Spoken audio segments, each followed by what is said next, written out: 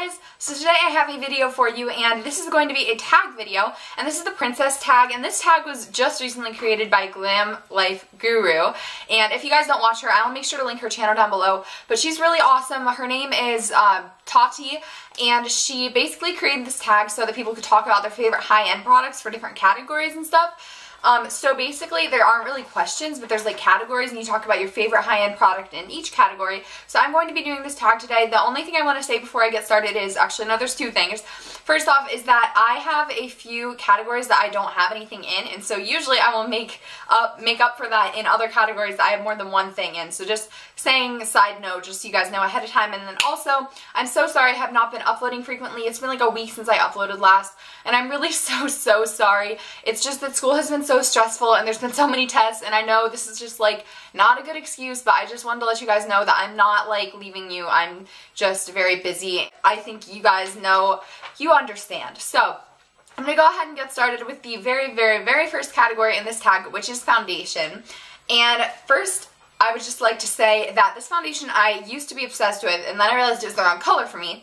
And then I didn't like it for a while, like a long time, and I never used it also because I thought it was the wrong color, but recently I just whipped back out, and I love it. It's perfect for every day. This is the Benefit Hello Flawless Foundation, and this is the Oxygen Wow Brightening Makeup. It, it is oil-free and it has SPF 25.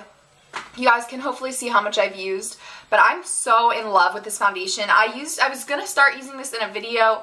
Um, I don't remember. I think it was a talk through tutorial. I was about to start using this and I told you guys, oh, the coverage is later than I thought. And honestly, I don't think it was. I think I was in a weird lighting or my cheeks were especially red that day or whatever. But I love, love, love this stuff for every day. It's so, so great. And I'm in the very lightest shade. The only thing I don't like about this is that I'm, um, I'm pure for sure. Ivory, that's the lightest shade. And this used to not fit me. Like, I used to be paler than this, so I feel like the shade range could be better on this. But I really, really do love this product. Text message. Next category is concealer.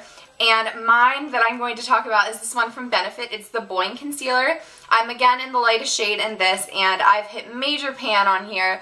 I really, really like this. The only thing is I really only tried it so I could test it out because this thing is $20. I probably will not end up repurchasing this, but it's very nice to have and it has really awesome coverage. The only thing that I've not been able to cover with this is I've never been able to cover this with, with any concealer. This is this, I don't know if you guys can see, I have a zit right here that popped like last night or something and it will not cover this will not cover it without looking really cakey. So that's the only thing about this but like other like blemishes are totally fine. It's just you know how whenever you have that awkward like scab kind of pimple kind of thing that no concealer will really cover it without it looking gross you just don't even want to put makeup over it that's how it is with this thing right here and so this will not cover the, that this is the only thing or this is the only thing I found that this couldn't cover. Okay, my next product that is on the list is a powder, but I don't have a powder that's high-end, and I'm really satisfied with my drugstore powder, so we're just to skip that one. But I do have something that's sort of like a powder, if that makes sense. Oh, my mom closed my door. Thanks, Mom. Anyways, this is the Urban Decay De-Slick Oil Control Makeup Setting Spray, and I've been using this under and over a lot of my makeup recently, just to make it last really, really long. This is just the travel size, or not travel size, this is the deluxe sample, and I just recently got the travel size in a high-end makeup haul, which I will link down below.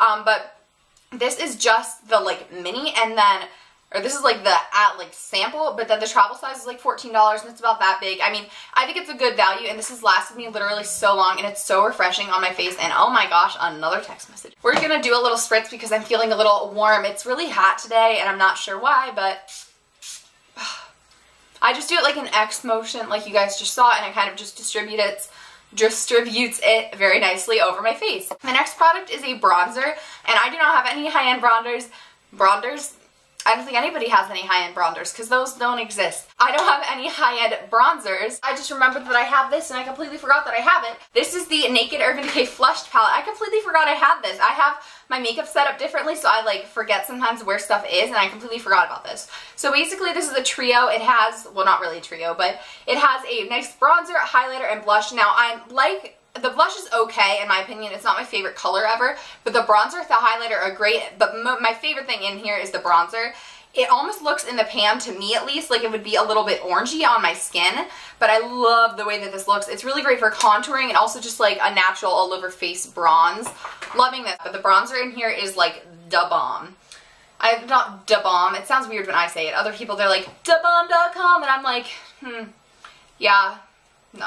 Category after bronzer is blush and I'm not sure if this is totally high end because I don't know how much it was. My mom gave it to me. But this is from Nordstrom's and it's the brand Prescript yeah, Prescriptives. And it's this just, oh my gosh. It's the brand Prescriptives. Sorry, I cannot talk. It's a little cream stick blush and it's just this really pretty, almost bronzy kind of color, but it's like a peach. And this is in the shade, uh, Balinese Peach 02. So I'm just going to do a little swatch of this. It looks so nice and so natural on the cheeks. And I just have been loving this a lot recently. And it also does have some shimmer if you're wondering, but it's so blendable. I love, love, love this blush. But I'm obsessed with this and it looks so natural and so glowy. Next thing on the list is a highlighter and my highlighter that I'm going to talk about is the Benefit High Beam and I know this is so talked up and I've been wanting to try a few other high-end highlighters but they're so expensive. Um, I just have this little travel size mini from my Primping with the Stars kit from Benefit that I got a while ago and this is so, so gorgeous. I especially love the, these kinds of like highlighting glowy kind of products during the fall. I don't know why. I really like glowy skin for the fall. But this is what it looks like. Can you see that? And it's just really light and it's a pinky toned highlight and it's just so light and beautiful and natural looking. I just love the way that this looks on the skin and I would definitely recommend this for any skin tone because if, even if you have a darker skin tone, this will look natural on you and even if you have a really light skin tone like me, it still shows up and gives you a highlight and it's not like darker than your skin tone. So moving on to the eyes kind of category, the first thing is eyeshadow. Guys, I've talked about this literally so much, so if you are new to my channel, then you're forgiven for not knowing this, but if not, like, you, you should know this by now. this is, like, my life. I cannot, oh my gosh, okay. Urban Decay Naked Basics palette. I, oh, oh my gosh. This palette is the most amazing palette. I own the Naked 2 palette and I like this so much more. This is like $27, $26. I fit pan on two of the colors and I'm very close to both of the two WOS or Walk of Shame. It has six really gorgeous neutral colors these five are matte, and then this one is a shimmer. Oh my gosh. I'm going to swatch them really fast in my hand so you can see the gorgeousness of them. Okay, so I've swatched these all up in my hand, on my hand. Could I have done that more awkwardly? No, okay. So you have these ones. Okay, I don't know how to do this. Okay, I hope you guys can see all these okay, but starting over here, this one is called Venus, and it's just a really gorgeous shimmery color, and I really like this for my brow bone and my inner quarter highlighting, because I really do like shimmery highlights, but this isn't too, too shimmery. Then this one is called Foxy, and this is like a yellow toned neutral kind of color. Can you guys see that? That's not showing up very well on my skin, but you, I hope you guys get the gist of it. And then this one is like a pinky toned skin color, and this is called WOS, or Walk of Shame.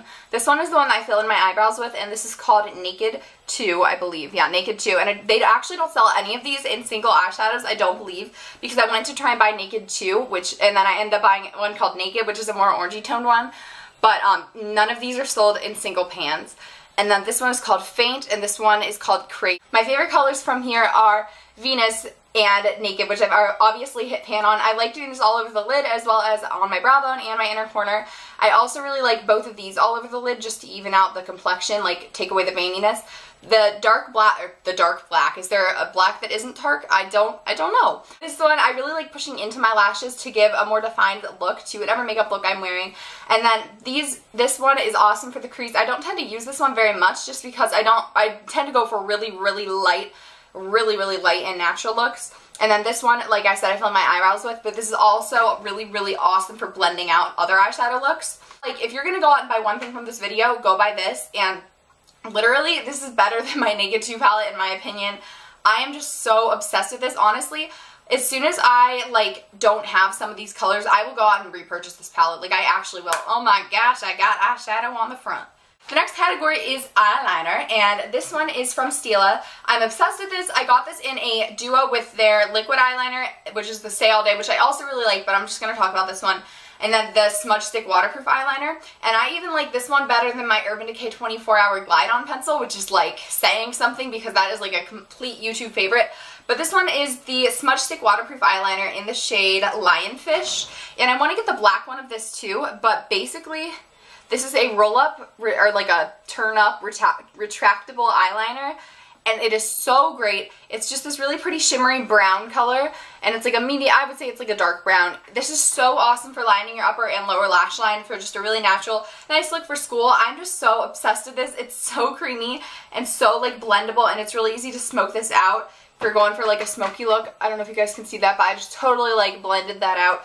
And then once it sets though, it is not going anywhere. So now we are on to mascara. And I have one high-end mascara that I've, I'm uploading a mascara routine. It's coming, I promise. Pinky swear. But anyways, I have this high-end mascara, which I use after like all of the rest of my mascaras because it like ties them all together perfectly and it just finishes everything off fantastically. Is that a word? Fantastically? I think that's a word. Um, this is the Smashbox Full Exposure Mascara. Oh my gosh. My mom actually purchased this and then she didn't like it so she gave it to me. I know germs, but she's my mom. I don't really care. But this has a huge wand. Like it's actually really big and I love, love, love it. It gets into all of my lashes and it's not like super like flimsy, like it actually gets into my lashes. It doesn't get make my lashes look clumpy. I am just so obsessed with this mascara. I don't know how much it is, but I'm pretty sure this is one of the perks of like the Ulta Beauty Week, 21 days of something, September Beauty Week. And so I may have to get my hands on this, but we'll see. So the next category is lip products. Don't mind me as I'm like wiping the swatches off of my hand so I can just watch these. So you're, I'm supposed to show you a lip liner, a lipstick, and a lip gloss. I actually do not have a high-end lip liner, and I'm not a huge fan of lip liner, so I'm just going to show you my two favorite high-end glosses as well as a lipstick. So kind of making up my own rules here, but what you gonna do? The lipstick that I love that I have that is high-end is this one by Tarte. This is one of the Glamazons, and I have mine in the shade Bold, and it's just a really pretty peachy color, and on the lips it almost looks like a muted kind of strawberry red kind of color. This is what the color looks like, and as you guys can see, it's like shaped to my lip. That's like the sign of a truly like awesome lipstick, once it actually gets like the shape of your lips in, like how you apply it. But this is so gorgeous. I love, love, love it, and I'm just going to swatch it for you real quick. And like I said, this is in the shade Bold. It lasts so long. The only thing I will say is that it does tend to dry my lips a little bit, so I would definitely recommend either wearing a gloss over this or wearing a chapstick under. Whatever floats your boat, I suppose. For the two glosses, the very first one I've had for a while, this is just a little sample, but I love it. This is the Too Faced Glamour Gloss in the shade, um, oh, yeah. If you're under the age of 13, close your ears. It's in the shade Sex Pot. It's just a really, really pretty mauve toned gloss. It has like a tingly feeling on your lips, which I love. And this isn't absolutely the most pigmented gloss, but I feel like it's amazing for your natural days or if you're just topping off like a nude lipstick. I just love the way that this looks on over, oh my gosh. I just love the way that this looks, oh my, oh my goodness gracious. I just love the way that this looks over almost every lipstick that I've tried it with and it just looks so glossy and refined and it really makes my lips tingle which I know some people don't like but I personally really like. My other gloss is from Bare Minerals. I also got that in this in my recent high-end haul. It is the just regular gloss I guess. Once you rip off the packaging all of the info about what kind of gloss it is is off but I have this in the shade Fruit Cocktail and it's just a really pretty natural looking like um, peachy kind of color. It's very pigmented and the applicator is a brush if I didn't say that. I love the packaging. It's really sleek and just feels nice to have and this is a gorgeous, gorgeous color. And if I don't remember to say all the prices in this video, which I know I've failed at doing, I will make sure to say them in the description box, as well as everything that I'm wearing, everything on my face, and whatever I did with my hair, which I didn't do anything with my hair, so I guess that won't be down there. Um, then for my favorite brow product, that's the next category. I don't have anything for that, but I mean, yeah, I don't have anything for that. The next category is miscellaneous, so candle, bath goodie, tool, etc. I'm trying to think, I don't really think I have anything miscellaneous to talk to you guys about. So I'm just going to go into the nail polish, and I guess you're only supposed to have one, but I have two. Um, so I guess this one of them can take the place of my miscellaneous item. Um, and both of these, I don't know if everybody would consider these high-end, but to me they're high-end because I usually buy like the $3 nail polishes at CVS. So the first one is the Nicole by OPI Selena Gomez nail polish, and this is just in the original Selena color.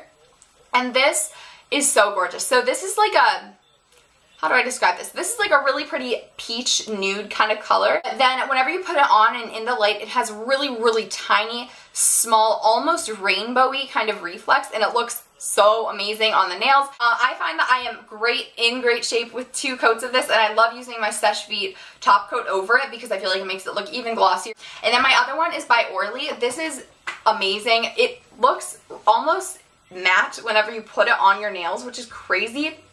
Like if I don't put a top coat over this, it almost looks like it's just a matte nail polish. It's so weird, but this is in the shade of Va Va Voom, and this is just a gorgeous, amazing, like fluorescent hot pink, and it's really not showing up that way on camera, and I'm not sure why, um, but it's like fluorescent hot pink in like real life, if you know what I'm saying. The formula is great. I usually apply two to three coats of this because it's a little thinner, but it's not like runny or like streaky.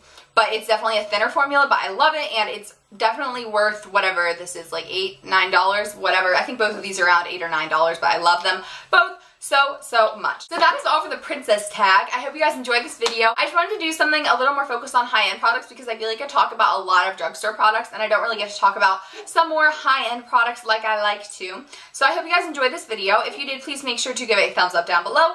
I will be uploading more frequently now. I'm just now starting to get more into the routine and pattern and swing of school. So I'm thinking I'm going to have to start pre-recording videos, whereas usually I would just record videos like on the day that I wanted to upload them. So again, hope you enjoyed. Please like this video and subscribe to my channel if you did, and I will talk to you in my next video. Thanks for watching. Bye!